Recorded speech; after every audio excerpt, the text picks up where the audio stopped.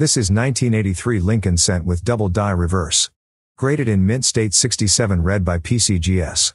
According to Stack's Bowers, a remarkably well produced and preserved example of this perennially popular variety in the modern Lincoln cent series.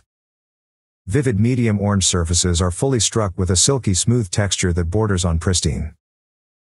Somewhere on the order of 2,000 to 3,000 examples of this variety are known, most of which were discovered either in the area of Lewistown, Pennsylvania or in northern Florida. This is a popular and readily attributable variety with doubling to all lettering on the reverse. It was sold for $2,640. Number 5. This is 1989 D Lincoln cent in MS65 red condition. An error coin struck on a pre-1983 copper planchet. According to Heritage Auctions, the remarkable aspect of this intriguing mint error is that copper planchets were last used for coinage in 1982, seven years before this piece was struck. Copper blanks in early 1982 weighed 3.11 grams and had a composition of 95% copper and 5% zinc. The zinc planchets used from that point through 1989, and to the present, were composed of a nearly pure zinc core with copper plating, for a total composition of 97.5% zinc and 2.5% copper that weighed only 2.5 grams. Perhaps a copper planchet remained hidden for years within the crevices of mint machinery or transport equipment, or perhaps a planchet supplier mixed in a copper planchet that had been set aside as a souvenir. Whatever the reason for this anomalous wrong stock error, it is likely irreplaceable. This lustrous orange-red coin is well struck and mark-free. It was sold for $7,500. Number 4. Here is 1985 Lincoln cent in MS68 plus red condition. It is extremely rare that a Lincoln cent from this period warrants a grade from PCGS as fine as MS68 plus red. But this piece fully deserves it.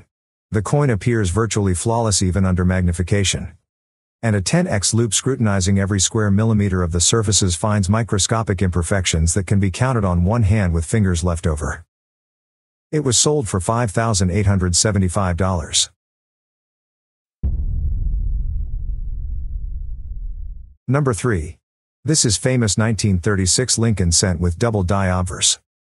Arguably the most famous of the several prominent double die obverse varieties for the 1936 cent, distinguished by a bold north-south spread on the letters of trust, but prominently doubled on all peripheral lettering and the date. The present premium gem is a great representative of this guidebook listed variant. Freshly lustrous with untoned copper gold surfaces and only a handful of trifling flaws. It was sold for $21,850.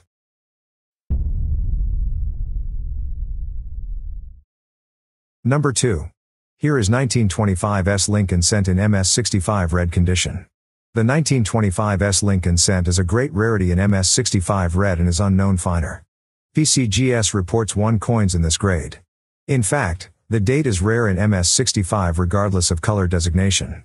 The present example is comparable in eye appeal and technical quality.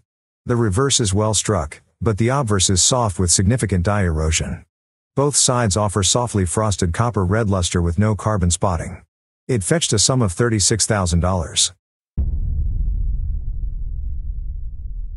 Number 1. And this is 1926 S Lincoln cent in MS65 red condition. Major series condition rarity. The rarity of the 1926 S Lincoln cent in gem full red condition is such that even the most patient and well-funded collectors may never have an opportunity to acquire an example. This piece has been added to the condition census.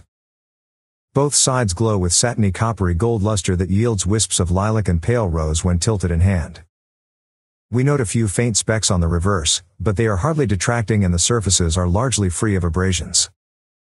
The strike is the hallmark of this coin, showing better peripheral definition than is typically seen on this issue. Much of which was struck with heavily worn or eroded dies. It ended up selling for $90,000. Thanks for joining us today. Until next time, happy coin hunting, and may the rarest coins be in your collection. Don't forget to smash thumbs up. Stay well.